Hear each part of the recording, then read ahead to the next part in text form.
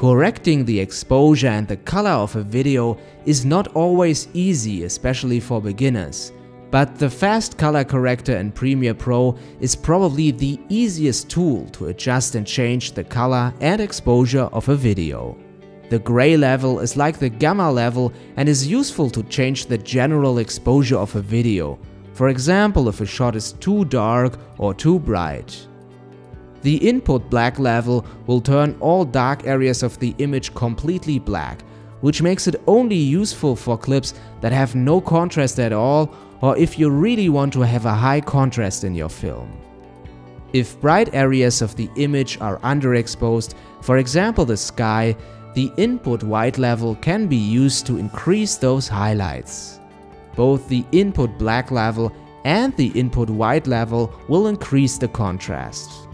If the video already has a high contrast and you want to get a flat look, the output black and white levels are quite useful.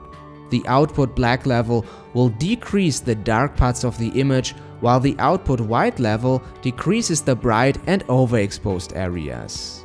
This is very useful when dealing with footage that is only overexposed in certain areas of the image, for example due to bright sunshine and a high contrast. The saturation of the edited video will change depending on how the exposure is adjusted.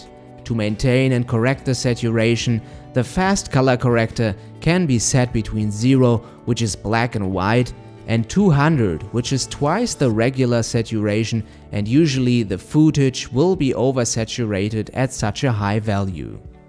If the video's color is off, for example the image is too blue or yellow, the white balance tool is very useful to correct those colors. The value can either be changed by using the color picker or by moving around the little circle. The further the circle is being moved away from the middle towards a color, the more intense the color will become. The fast color corrector in Premiere Pro has its limits and can't be used to grade a feature film, but it's certainly useful to do a basic color and exposure correction and just like the name states, it's very fast but it's also very easy to use.